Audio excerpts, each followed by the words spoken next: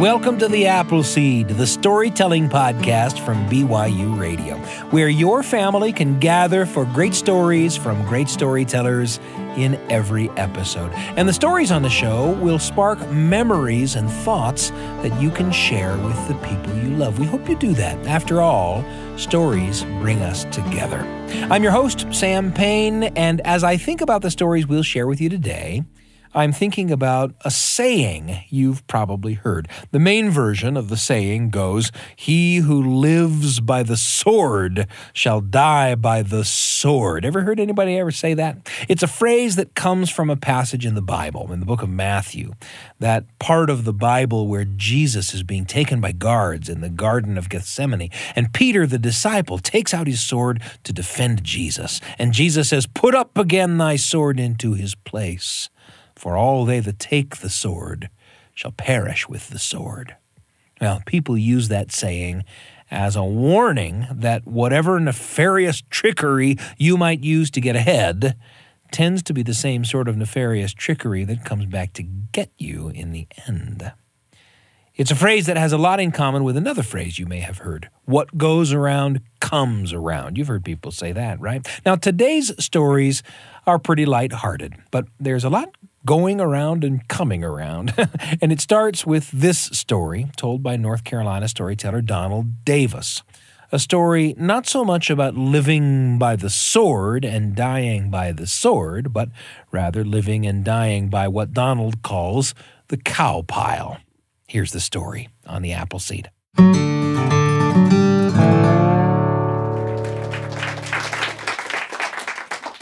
So it was a Sunday and we had been to church, of course, because we always went to church on Sunday. But normally on Sunday, before we ever left to go to church, my mother would totally fix our Sunday dinner and then she would put it in the refrigerator. So when we got home after like, you know, four or five semesters at church, she could pull it out and we'd be ready to eat before we starved to death. But we got home that Sunday I was about eight years old. My little brother Joe was about six years old. And our mother had not fixed our Sunday dinner. And she said, I'm sorry, boys. I just didn't have time to cook before we left today. So I'm going to have to cook before we can eat. No, we're going to starve to death. We're hungry right now. No, it won't be too long, but I've got to cook our Sunday dinners. And boys, I have something good you can do while you wait. I thought, yeah, it's going to be stupid. I don't know what it is, but I already know it's going to be stupid. She said, Here's an idea. Why don't you boys go outside and see how many times you can run around the house till I call you? I told you it's going to be stupid, didn't it? Well, we started toward the door to go run around the house. And all of a sudden, our mother said, where do you think you're going? Wait a minute. What did she tell us to do? Go run around the house, right? We said we're going to run around the house. She said, Not in your Sunday clothes. Can you read your mother's mind? How were you supposed to know to not go yet? She said, Go take off your nice clothes and put something on for play that you can't hurt. Something you can't hurt. Have played naked, I guess. they never made something you can't hurt, right? But we did. We went in our bedroom and we took off our nice Sunday clothes. And where we live, kind of out in the country, we put on short pants, we put on t shirts, and always in the summer, we stayed barefoot. And then we came back in the kitchen and we started to go out the door and run around the house. Well, we went outside. We ran down through the backyard Right across that fence, that's where the chickens lived. We went around below the house. Right across that fence, that's where the cow lived. We went around in the front of the house. Right across that fence, that's where the road lived. and then we came to the driveway, which was not paved.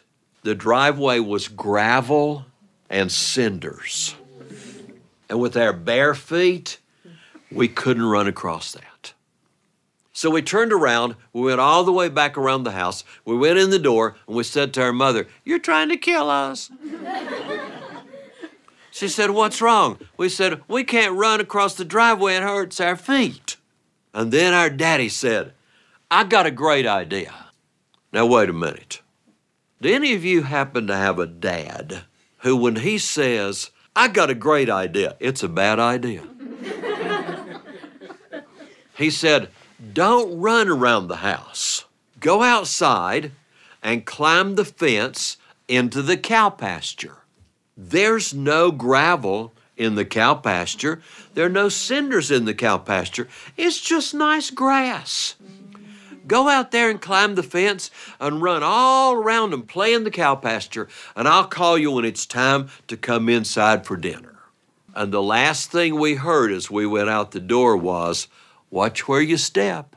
well, we got outside and we climbed the fence over into the cow pasture and we started running around and playing. Now, I knew what was on the ground in the cow pasture. You do too, don't you? And I was sure not going to step in any of it. You wouldn't either, would you? But all of a sudden, I saw my six year old little brother come running past, and I saw his clean little, almost pink feet. And I got an idea for a science experiment. I said, Joe, Joe, Joe, Joe, what do you think would happen if you were running around in the cow pasture and all of a sudden you just accidentally stepped right in a cow pile? He went, Ooh, that's nasty. you would stink till you were dead. And I said, Maybe, maybe not. He said, What do you mean, maybe not? I said, Think about it. It takes a little bit of time for everything that happens to happen. What if you were so fast, and I know you're fast, that you could step in the cow pile and then you could pull your foot out so fast there is not time for anything to get on it? He said, Do you think that would work? I said, Well, there's only one way to actually find out. Let's try. But wait, did I mean let's try? Or did I mean you try? Well, we picked a nice, beautiful, fresh one. It was nice and kind of slicky, greeny on top. And he got his little foot all ready. And when he was ready, he went, bam! It squirted up between his toes. It was beautiful. And he said, It didn't work. I said, That's only your first try. You almost never get something on your first try. Do it again. He did it again. Bam! It just was splattering up in the air like that. And then I looked at him, and he was getting a little grin on his face. He said, I think I'll try the other foot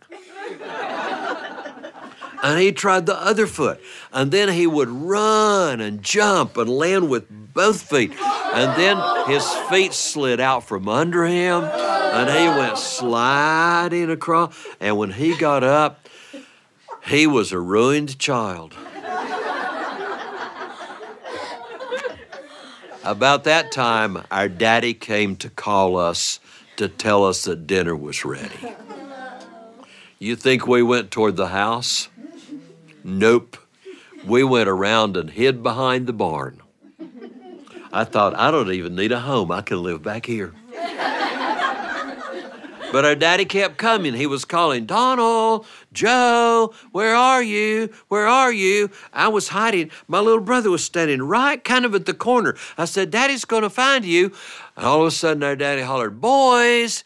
And my brother Joe jumped out and went! And our daddy went, Whoa! What got hold of you? And my brother told him the whole story, and I was the main character.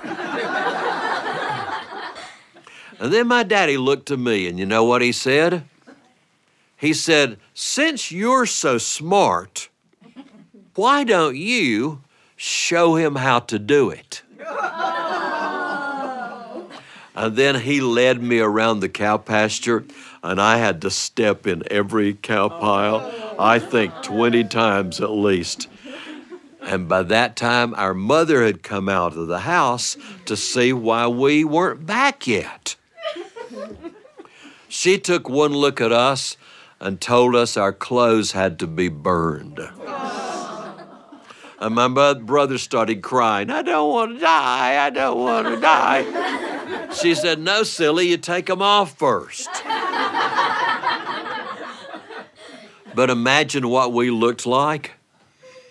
You think we got to come inside the house to take those clothes off? Nope. We had to take them off in the backyard where cars going down the road could see us. And my daddy started squirting us with the water hose and laughing. And our mom went inside, and then she came back with a big bucket of warm, soapy water and the mop. and she started mopping us naked and she would mop us, and our daddy would spray us off, and she would mop. And they thought it was so funny, so funny, so funny. They kept doing that so long that by the time we finally went inside, guess what? The food had burned. well, everybody learned something that day. My daddy never again suggested playing barefoot in the cow pasture. My mother never again let us go to church on Sunday unless she had fixed our dinner or we already had a plan to eat somewhere after that. I learned that if I ever have to have another brother, I hope I can get one that can't talk. Because if they can't talk, they can't tell on you, right? And you know what my little brother learned? He learned that every time I tried to get him to do something, he would do it. Smoke one of Daddy's cigars. It's good. Okay. Uh, jump out of the barn loft with an umbrella. It's just like a parachute. Okay. Open the Christmas presents. You don't have to wait till Christmas. They won't get mad at you. You're the baby. Okay. Row your little cars to the road. See what the big cars do. Okay. I thought he was the dumbest child in the world. And it took me a long time to figure out he was not the dumb one. Because think about it. If he did it, but I had thought it up, guess which one of us got punished in the end? And you might want to remember that also.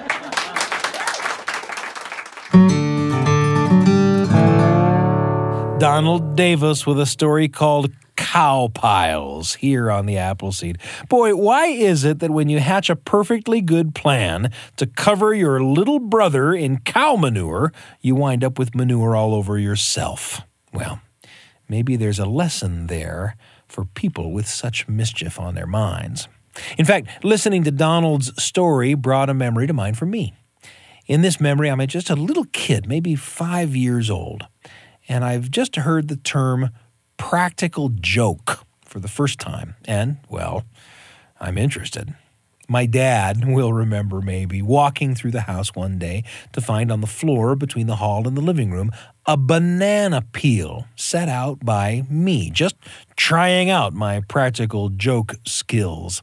Set out for my dad to slip on like a cartoon character. Classic, right? Well, do I have to tell you my dad got out of that one unscathed? But I must say, I improved. The practical jokes got a little more crafty.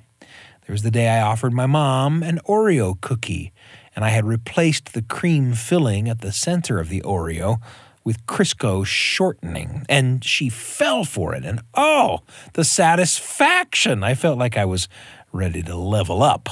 It was time for me to go to the kitchen sink to the sprayer beside the main faucet. You know, the one you pull out on a long hose to spray dishes off. The one you activate by pressing the little handle right on the sprayer. Well, it was time to take a rubber band and rubber band that handle open. So, you know, whoever came by, all unsuspecting, and turned on the kitchen faucet would, well, you know, I was so excited to see this go down. I carefully snapped the rubber band around the handle and carefully positioned the sprayer so it was pointing right at whoever might be standing at the sink. Well, most of the day went by, and no one had been caught in my practical joke trap, and I kind of forgot about it. And then came the moment when my mom shouted down from upstairs, Hey, Sam, would you mind bringing me up a glass of water? Well, sure, Mom, I shouted without another thought, and I went immediately to the sink, reached out, turned on the water, and, well, you know the soggy rest of the story. He who lives by the practical joke, as it turns out, dies by the practical joke. That's where Donald's story took me. Where did the story take you? And who will you take along?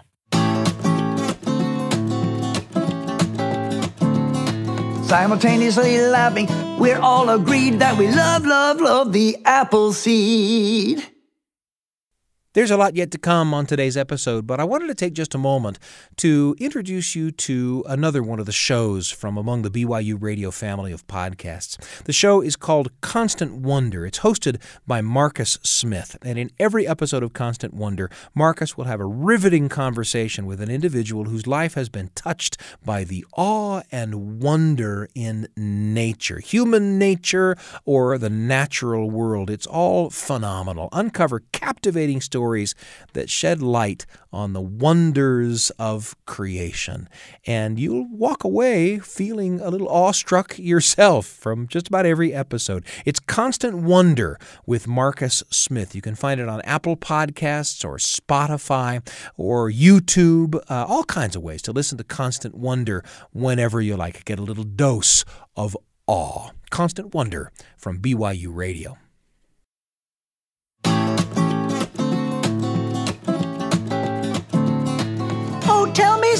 Okay, I'll proceed with my story inspired by the apple seed.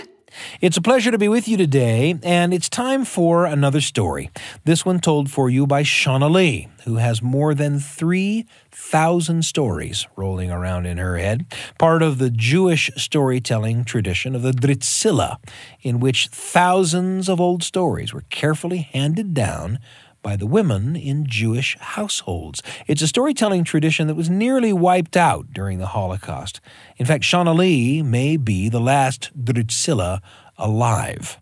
This story, just one of those thousands of stories, is called The Vizier Who Married the Gibbon. It's another story about a deceiver who gets deceived, with results that we think you'll get a kick out of. Here's Shonaleigh.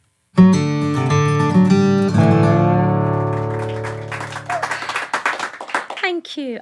So, the story I'm going to tell you now is called The Vizier and the Gibbon. Now, first of all, because storytelling happens mainly in your mind, doesn't it? It's the pictures that you're putting. I need to make sure you know. Do you know what a vizier is? Do you know what a vizier? Is? It's kind of like an advisor to the king. So, kind of a, an elderly wise man who advises the king on what to do, you know? Do you know what a gibbon looks like? Now, if you are a naturalist, forgive me. I think it's part of the ape family, but they are uncanny. They they look almost human you know, with their, they have long legs and long arms, and they sometimes they walk upright, and and they they make the most unreal noises, um, and and they have a, a temperament, or they're feisty. They have chutzpah, as we would say. so this story is the vizier who married a gibbon. Yes, I see eyebrows going up. Don't worry, it's just a story. It's not something that happens in Europe. There was once a vizier whose job it was to advise the king. And although he was not of noble birth, he was of good birth, and he loved the king's daughter. And he knew that the king would never let him marry the daughter, the princess. But his heart longed for her, and so, whether this is good or bad, I, I am not going to judge. He hatched a plan a devious plan, not a good plan. First of all, he went to the royal astrologer, the seer, and he crossed his palm with gelt, with gold. And he said, Will you draw up an astrological chart for the king that says if he chooses his son in law, there'll be disaster? And the, the astrologer, who didn't earn a lot of money, said, Yes, all right then. So he did. So the first thing the vizier does is he goes to the king and says, Your Majesty, I think you need to look at this. And he lays the plans out and he says, Look, if you marry your daughter off to someone that you choose, any offspring, any children of that marriage will rise up and kill you and take your throne. He was riffing now. He's got the bit between his teeth. He was making things up, and the poor king, who was a bit gullible, a bit foolish, don't really know how he got to be king. Well, not go down that road at the moment. and uh, and he says, uh, "Well, what should I do?" Now you have to remember, parents were a lot harsher then. And the vizier had already thought this out. He had walked a river and he had seen that there was one little inlet where the, the river of came round and eddied and whirled. And he'd got a plan. He'd mapped that part of the river. He'd hired a place up in the mountains and he'd gone to his neighbours and said, I am going to marry a young wife and she's a bit willful. Now you have to, this is an old story. He said, So if you hear the odd slap and the odd scream, it's just me disciplining her, don't come in. I know. But you'll be thrilled at the end of this story. don't come in. And so, with this in his mind and all this plotting and planning, he goes to the king, and the king says, Well, what should I do? I have a plan, Your Majesty. What we must do is invite your daughter to a feast, and because we're not savages, we will drug her wine put her in a, a, a casket. We'll line it nicely with silks because she is a princess, and then we'll nail the lid down and throw her in the river. And the king says, what, what, what will happen then? And he said, Well, it will go out to sea, it will get found by a boat, it will be taken to a foreign land, and, and there she will marry, and it won't be a husband of your choosing, and everything will be fine. And the king, because he is a bit foolish, went, All right. Sounds like a great plan. Because parenting back in those days, lot to be desired. But you see, the princess's serving maid overheard everything. She ran to the princess and she said, This is what he's planning to do. Do you trust me, Your Majesty? And she said, You're like a sister to me. And she said, Well, I know what he's planning. That box will end up in that little eddy and he'll fish it out and he'll take you away. But my brother and I have fished that river all of our lives. We know. We know that there's one further upstream. We'll rescue you. You just have to go along with the plan. Drink the wine, fall asleep, leave everything else to us. And that's what she did. She went and she drank the wine and she fell asleep. And the vizier thought, Oh, my love. Put her in the box, they nailed it down, bit of tar so, you know, it was watertight because they were caring like that, and then threw it into the river. Well, of course, the vizier goes straight to town, leaps upon the back of a cart that he's hired with two henchmen, and off he goes to retrieve the woman of his dreams. But you see, the first thing that happens is that box goes into the first little eddy, the first little inlet. And there is her, her maid and her brother, and they pull it out and they open it up. And the maid's brother lifts out this woman, and what happens between them is more stories than I can tell you. But he lays her onto the cart, and then they put inside a sleeping gibbon. Nail it back down and put it back in the river. Well, the vizier arrives, he sees his box, he gets his henchmen to put it on the cart, and, and they arrive at his home in the mountains, and he pays the men off, they, and, the, and the box beginning to rattle. He thinks, oh, she's woken up. Oh, she seems a bit angry. And they put the box in and off they go. Now the box is beginning to shake and rattle. And so he opens the box and I don't know if you've ever encountered an irate gibbon before. it's an interesting phenomena. Well, this gibbon leaps out and he grabs hold of the vizier and, the, and he's punching him and smacking him, and the vizier's crying out, and all the neighbours are going, Oh, she really is wilful. Well, not interfere. well, not interfere. And he's getting slapped around. But you see, weird though is he really did love the princess. And so instead of going, oh my goodness, somebody's put a gibbon in a box, because love can kind of blind you a bit, he goes, my love, who has bewitched you so? Who has done this terrible thing to you? I will lift this curse if it takes a lifetime. Have a banana. Have this bowl of fruit. Well, the gibbon, pacified by the offerings of fruit and vegetables and, and, and has their hair combed, he massages his little paws and his feet and drapes it in finery. And the gibbon's lying there and he says, I will give up my job and I will devote my life to you, my love. Gets a priest to marry them a rather perplexed priest, but he says, No, it's a woman under an enchantment. And so the vizier gives up his job and spends the rest of his life married to a gibbon that he cherishes beyond measure, and a gibbon that has never known such luxury. Unfortunately, people do talk. And so the story of the vizier who married a gibbon went out into the world, and now you know it too. Thank you very much.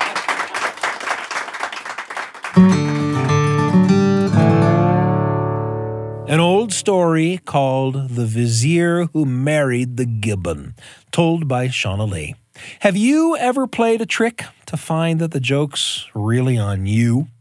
Have you ever set out to make mischief for someone else and found that there were some consequences for you that you hadn't anticipated? I bet there are some stories there. Thanks to Donald Davis and Shonaleigh, you've listened to their stories. Now it's your turn to share some of your own. The Appleseed is produced by Wendy Folsom, Sam Payne, and Brian Tanner. Our audio engineers are Ashton Parkinson and Carly Wilson. The rest of the Appleseed team is Kelly Wehrmeister, Trent Horton, Evadane Hendricks, Miriam Arce, and Tristan Schetzel. A special thanks to the subscribers of our podcast who rate us or leave reviews. You help people find the show. We also love to receive emails at theappleseed at byu.edu. Your thoughts and comments help us to shape the future of the Appleseed. We're pleased and proud to be among the many podcasts produced by the BYU Radio family.